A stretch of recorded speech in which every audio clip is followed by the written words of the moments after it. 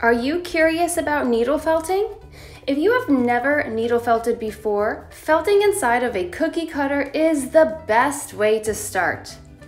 All you need to create a cute little felted piece inside of a cookie cutter shape is a cookie cutter of your choice, plastic or metal, wool roving, and a felting needle.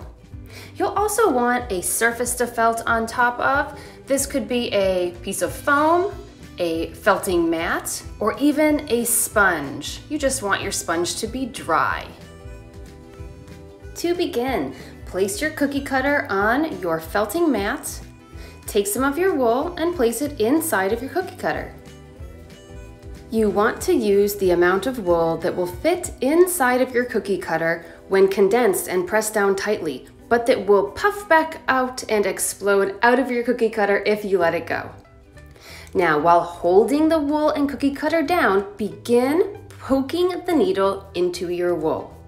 Watch out for your fingers. Hold your fingers on the outside edges or away from the area you're working on.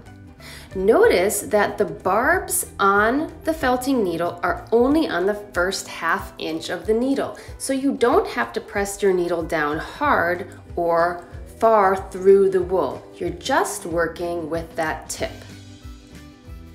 Continue to poke with your needle until the wool seems to begin to mat and to kind of stay together in a clump. Once your wool is staying together in a clump, you'll be ready to flip your cookie cutter over and begin to felt the other side. Again, press the wool down to help it stay flat and condensed.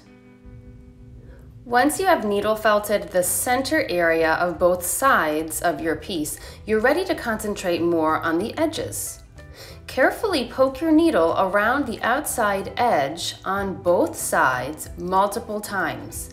And as you're doing this, any stray pieces of wool that are going over the edge of your cookie cutter can be guided inward so that you can start to really maintain the form that you are looking for. If you take your wool out of the cookie cutter and can easily pull off wispy ends or change its shape, then you know you are not finished needle felting yet. It's going to take a lot of patience and time to really create a well felted piece, even when using a cookie cutter to help you. As you work, you might notice that some areas need a little bit more wool, especially in little corners. It's simple to add more wool to a needle felted piece. Just place the wool where you want it and start poking in that area and it will attach to the main form. It is much easier to add more wool than to take wool away when needle felting.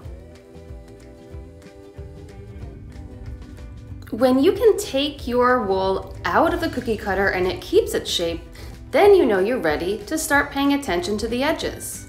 Carefully hold your piece and needle felt around the edges to have a nice firm outline. Once you're finished with that, you are ready to add details if you choose, or maybe begin a more advanced project. Thanks for watching and hope this helps get you started needle felting.